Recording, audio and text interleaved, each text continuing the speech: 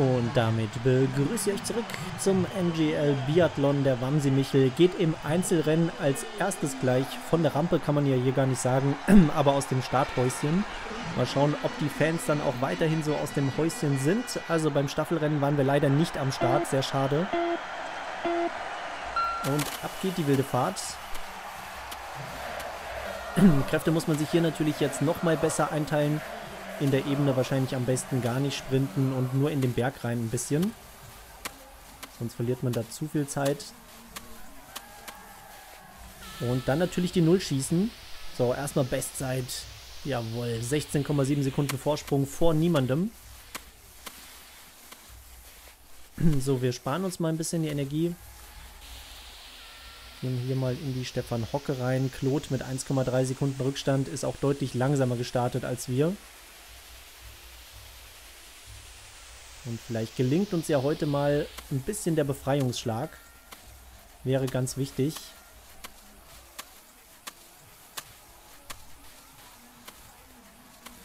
Der Himmel blutrot schon getränkt. Schauen, ob das ein Zeichen ist. Wahrscheinlich nicht. Versuche nur die Zeit zu überbrücken bis zum Schießstand. So, als erster zu starten ist natürlich immer doof, weil man keine Vergleichszeiten hat. Das ist echt ein bisschen schade. Wir sehen zwar dann unten die Konkurrenz, was die sonst so macht. Aber da fehlt einem natürlich trotzdem was. Jetzt geht's los. Jetzt geht's los. Woher wissen die das? Kleine Genies. So, leg dich hin, du Luder.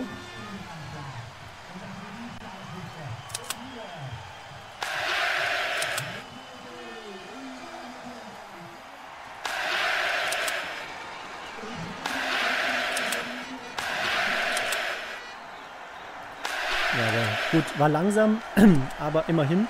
Der Claude schießt noch. Und hat vor allem auch schon einen Fehler geschossen. Also, das erstmal gut. Claude sogar mit zwei Fehlern. Allerdings natürlich 5,2 Sekunden schneller unterwegs als wir. Macht aber nichts. Wir sind fast eine Minute vorne. Also, das lief schon mal sehr ordentlich. Läuferisch alles gar nicht so wichtig.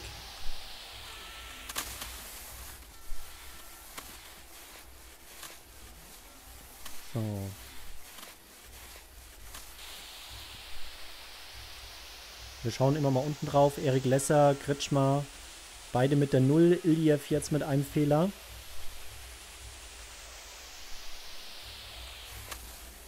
Und jetzt heißt es hier auch wieder ein bisschen Energie sparen.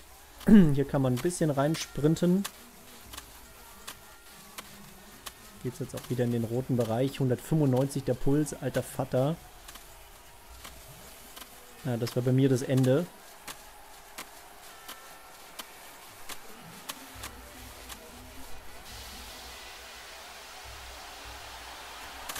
So, dann geht's gleich zum zweiten Schießen in die DKB Schießarena oder was das auch immer ist.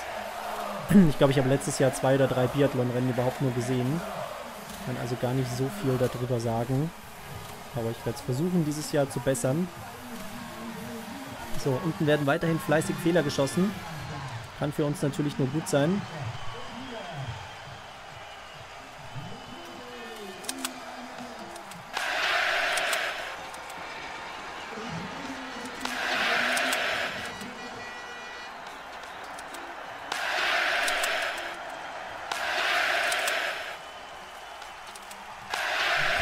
Alter Vater.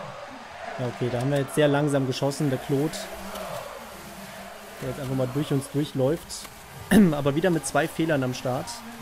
Schon 1,49 Rückstand und wir haben jetzt 10 Sekunden auf ihn verloren in der Loipe und am Schießstand natürlich vor allem. Ist aber völlig in Ordnung. Ich glaube, in der Loipe verlieren wir gar nicht so viel. Dadurch, dass wir halt auch immer ein bisschen tricksen können. Mal hier und da abkürzen. Hier gehen wir jetzt mal ein bisschen schneller durch. So, unten ordentlich Fehler. Erik Lesser, Kretschmer, alle mit drei Fehlern. Und eine halbe Minute verlieren wir wahrscheinlich nicht auf der Strecke. Selbst gegen die Allerbesten wird es schwierig werden. Da sind wir jetzt vor Dominik Windisch, 23,8 Sekunden. Lesser mit 1,21 Rückstand. Ja, da müssen wir natürlich schon ein bisschen schneller laufen. Da ist der Claude wieder da. Claude Oliver Rudolph. Der hübscheste Mann der Welt. Ich habe das Gefühl, der wohnt hier ums Eck. Es gibt irgendeiner wohnt hier, der sieht genau aus wie Claude Oliver Rudolph. Und wenn ihr ihn jetzt googelt, dann ist, Halloween ist zwar rum, aber googelt ihn einfach. War früher mal ein hübscher Kerl. Glaubt man gar nicht, aber ich habe ihn beim Boot gesehen und da war er echt ein gut aussehender Mann. So Konzentration.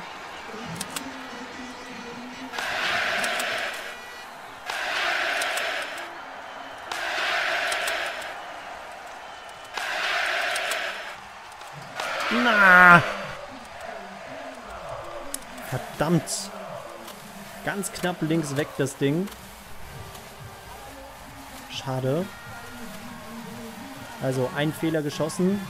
Andere schießen deutlich mehr Fehler, wie man unten sieht. Windisch allerdings jetzt mit der Null. Der wird wahrscheinlich an uns vorbeigehen.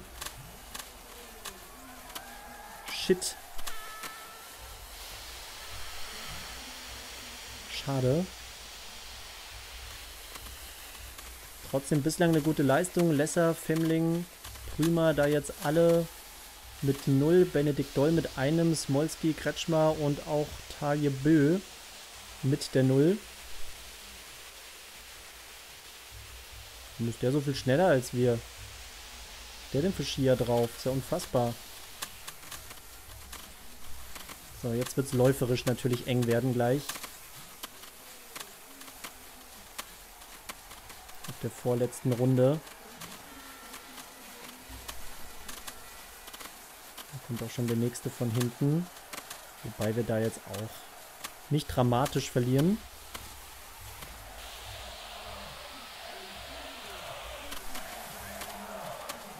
Jetzt geht's los. Der Wamsi-Michel kommt. Also den Claude sollten wir schon irgendwie im Sack haben. Allerdings jetzt sehr viele Nuller. Von Siluoma mit einem Fehler. Also es flackert mir viel zu wenig auf da unten. Setzt mich jetzt zu sehr unter Druck.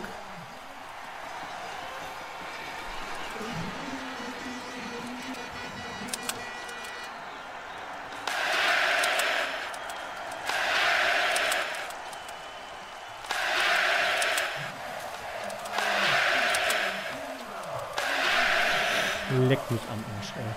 Dieses Spiel killt mich einfach dermaßen. So, 2,44 vor Claude. Ein Fehler geschossen. Das sollte doch mal ein gutes Ergebnis für uns werden. So Richtung Top 10 wäre nice. Das wäre sogar sehr, sehr nice. Jetzt müssen wir aber bei der Energie echt ein bisschen aufpassen. Lass mich durch, Junge. Ich bin Arzt.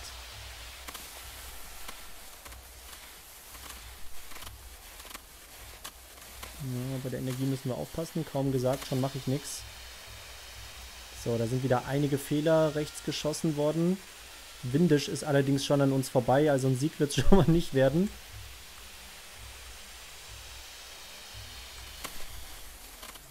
So, und hier werden wir jetzt viel Zeit verlieren.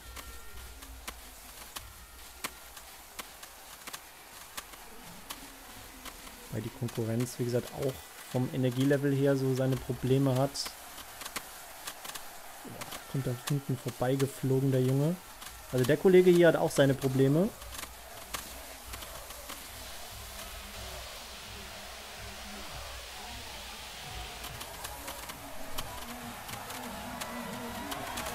So, jetzt geht es dann auch gleich auf die Zielgerade. Da können wir nochmal den Schlussspurt machen. Zieh durch, Junge! Zieh durch! Und dann sind wir 2 Minuten 40 vorm Claude. Doch erstmal ganz ordentlich. Dann schauen wir mal, was die Konkurrenz da so zu leisten imstande ist. Also Dominik Windisch kommt auf jeden Fall schon mal vorbei. Dann Kretschmer haben wir auf jeden Fall im Sack. Dann leider Maillet auch vorne mit einem Fehler. Einfach mal 31,7 Sekunden schneller als wir.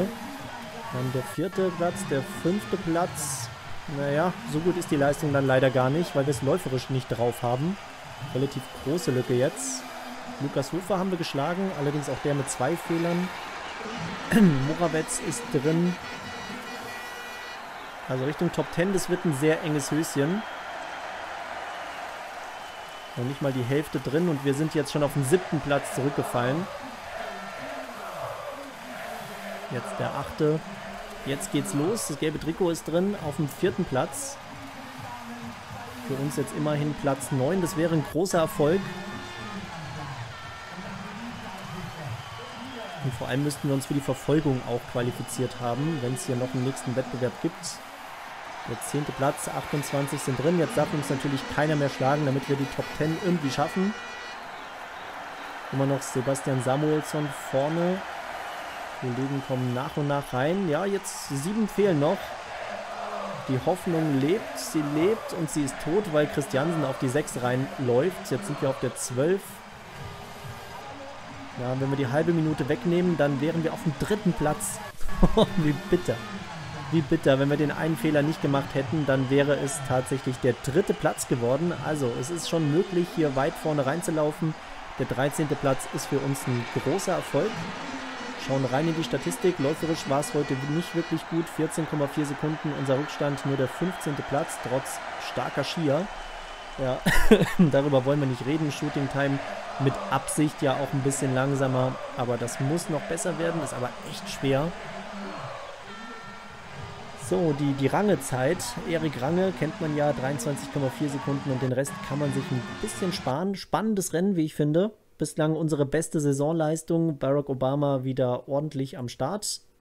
Wir schauen wieder auf den Total Score und müssten uns jetzt eigentlich ein bisschen nach oben verbessert haben. Wir sind auf Platz 31 jetzt im Gesamtweltcup. Die Top 30 wären so das Ziel. Da sage ich, ja, das könnte ganz gut passen. Im Sprint, äh, in der Verfolgung waren wir noch gar nicht am Start. das ist ein bisschen bitter. Aber da kommen halt auch nur die besten 21 rein. Es geht jetzt nach Ruhpolding in den Massenstart. Das könnte auch schwierig werden. Da steht man immer so sehr unter Druck am Schießstand, wenn die Kollegen neben einem stehen. Aber vielleicht ist das auch ganz gut und motiviert uns da relativ schnell und sicher zu schießen. Das wird es definitiv nicht. Aber schaut trotzdem gern morgen wieder rein. Dann geht es weiter in Ruhpolding mit dem Wamsi Michel.